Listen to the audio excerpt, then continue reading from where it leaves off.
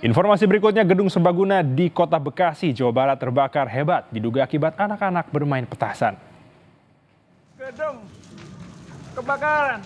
Jemaah iman silakan datang sini untuk mengamankan. Saudara kebakaran gedung serbaguna ini sempat membuat warga panik. Diduga api berasal dari petasan yang dinyalakan di samping gedung. Dalam rekaman CCTV terlihat tiga orang anak berlari usai menyalakan petasan yang menyambar gerobak pedagang. Material gerobak yang terbuat dari kayu membuat api cepat membesar. Kurang dari satu jam, api berhasil dipadamkan 6 unit mobil pemadam kebakaran dari kota Bekasi. Kasus kebakaran ini dalam penyelidikan Polsek Bekasi Timur dan Polres Metro Bekasi Kota. Saudara kita ke informasi yang pertama di berita utama hari ini, kepanikan warga terjadi saat sebuah rumah yang berada di pemukiman padat Koja, Jakarta Utara terbakar Rabu pagi. Apa yang dipicu korsleting menghanguskan bangunan dua lantai?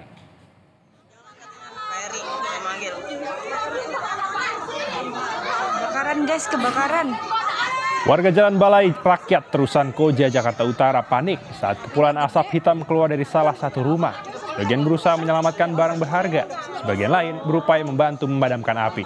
Diduga karena korsleting, api membakar kamar yang berada di lantai dua rumah hingga berkobar ke seluruh bangunan. 12 unit mobil pemadam dikerahkan untuk memadamkan api. Kebakaran guys, kebakaran.